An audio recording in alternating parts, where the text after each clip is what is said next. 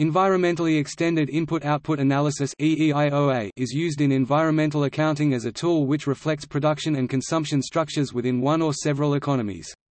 As such, it is becoming an important addition to material flow accounting.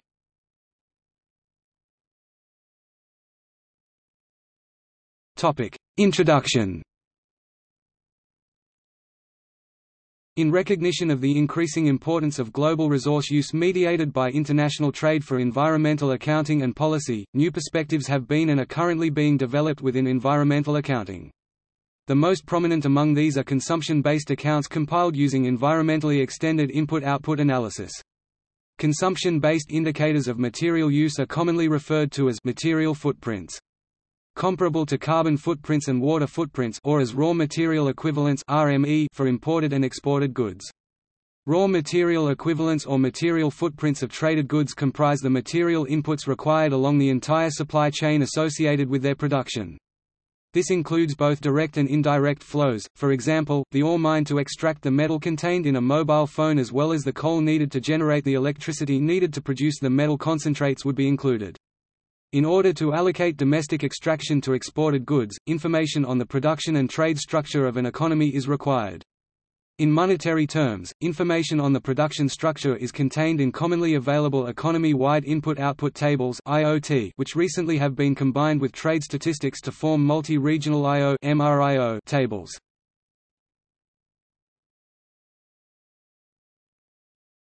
Topic: Input-output analysis for EEIOA.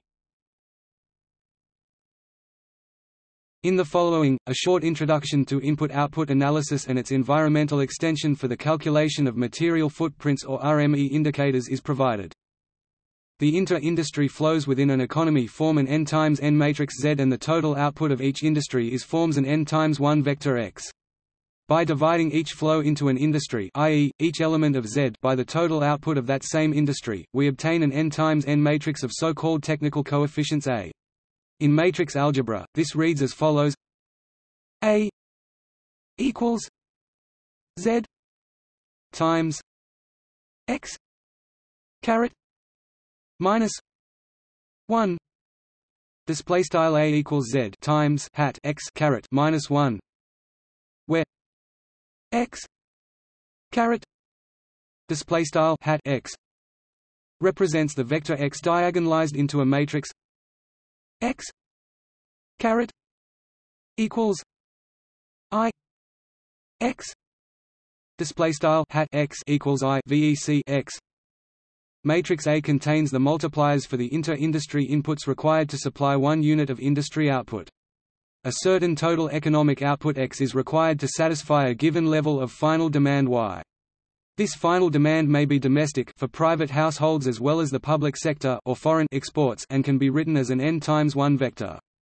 When this vector of final demand y is multiplied by the Leontief inverse I minus a minus 1, we obtain total output x.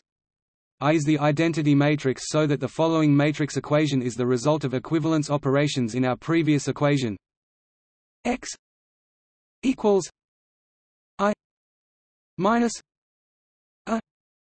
minus 1 times y display style vec x equals left ia right caret minus 1 times vec y the Leontief inverse contains the multipliers for the direct and indirect inter-industry inputs required to provide one unit of output to final demand. Next to the inter-industry flows recorded in Z, each industry requires additional inputs e.g. energy, materials, capital, labor and outputs e.g. emissions which can be introduced into the calculation with the help of an environmental extension. This commonly takes the shape of an M times N matrix M of total factor inputs or outputs. Factors are denoted in a total of M rows and the industries by which they are required are included along N columns. Allocation of factors to the different industries in the compilation of the extension matrix requires careful review of industry statistics and national emissions inventories. In case of lacking data, expert opinions or additional modeling may be required to estimate the extension. Once completed, M can be transformed into a direct factor requirements matrix per unit of useful output F, and the calculation is analogous to determination of the monetary direct multipliers matrix A see first equation F equals M times X caret minus 1 display style f equals m times hat x caret minus 1 Consumption-based accounting of resource use and emissions can be performed by post multiplying the monetary input-output relation by the industry-specific factor requirements E equals F I minus a minus 1 times y display style e equals f i a caret minus 1 times vec y this formula is the core of environmentally extended input-output analysis. The final demand vector Y can be split up into a domestic and a foreign exports component, which makes it possible to calculate the material inputs associated with each. The matrix F integrates material flow data into input-output analysis. It allows us to allocate economy-wide material requirements to specific industries. With the help of the coefficients contained in the Leontief inverse I -a -1, the material requirements can be allocated to domestic or foreign exports final demand.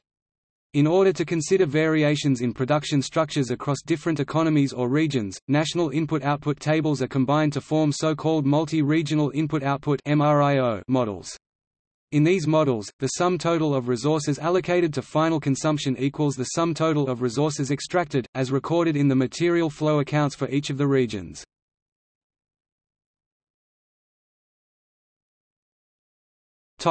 Critical issues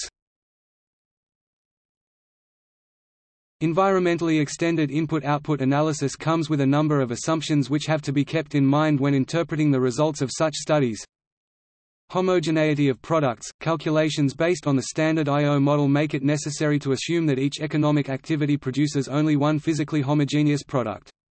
In reality, however, the high level of aggregation of activities e.g., in most European IO tables, all mining is included in the same activity irrespective of the specific material leads to inhomogeneous outputs. In addition, many industries generate by-products e.g., a paper mill may also produce sawdust, and this additionally violates the assumption of homogeneity of outputs. Along the same lines, when this method is used to ascribe environmental impacts, not all the products in a given sector have the same emissions. An average is used. But for instance in terms of power generation, the emissions from coal-based power generation are very different from those of solar power generation. An assumption is made here that the global mixture is being used, when actually power generation may be available only from one source.